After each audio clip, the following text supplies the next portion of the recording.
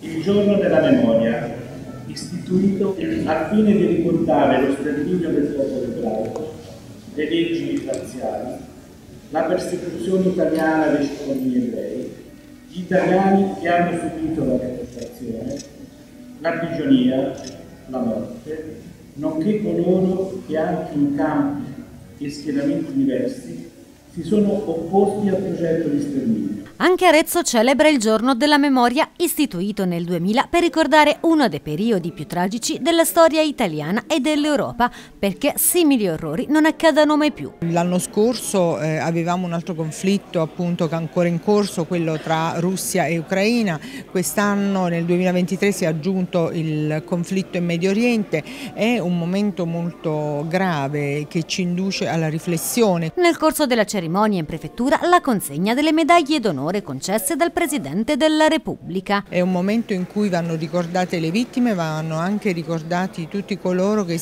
che hanno fatto la loro parte per poter dare una mano e per poter salvare altre persone e chi ha sofferto in prima persona l'internamento come oggi le due medaglie d'onore alla memoria ai figli di due deportati della nostra provincia. Medaglie d'onore alla memoria consegnate ai familiari di Adorno Focardi e Ferruccio Marcuccini. Mio padre ha avuto molte peripezie durante quel periodo perché è evaso due volte dal campo di concentramento, poi ripreso dopo quattro mesi con eh, ferimento da parte dei soldati tedeschi, poi è stato internato in un campo di punizione, quindi liberato dagli americani dopo due mesi, ridotto al peso di 45 kg, insomma, quindi era ormai agli estremi e quindi è un ricordo anche per mio nipote che era presente qui.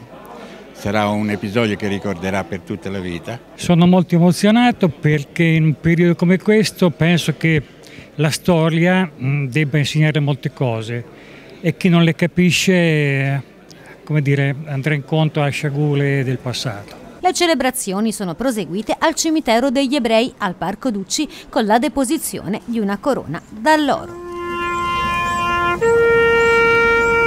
C'è un detto ebraico che dice che quando ci sarà pace a Gerusalemme ci sarà pace su tutta la terra.